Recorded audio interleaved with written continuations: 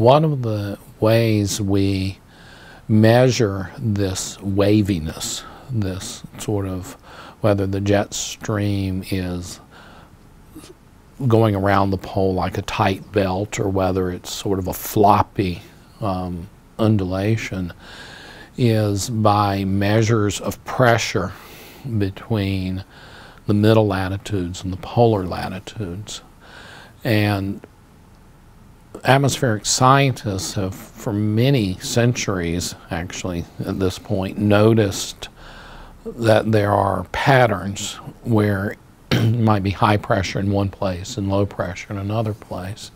And they tend to identify these changes from high to low pressure as oscillations. And so the North Atlantic oscillation is the relationship between the surface pressure in the North Atlantic and the surface pressure at the pole. So if the surface pressure at the pole is very low, then with low pressure, the jet stream is very strong. And, and that would be a case where the cold air would stay up at the pole. And the difference between the pressure at middle latitudes and the pressure at the pole during that situation would be strong and positive, and that's called the positive phase of the North Atlantic Oscillation.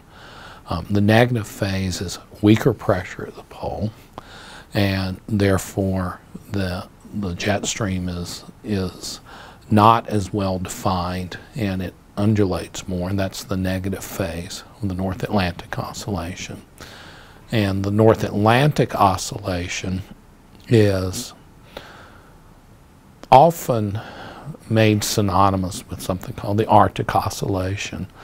Uh, the, the, the difference really being is what part of the globe the oscillation takes part in. Is that the North Atlantic Oscillation is you know, this observed preference for a pressure difference between the North Atlantic, and that has large impacts on us, so it gets a lot of attention here. Okay. So the Arctic oscillation would be, The Arctic Oscillation is more broadly the relationship between pressure at middle latitudes and the pressure at the pole.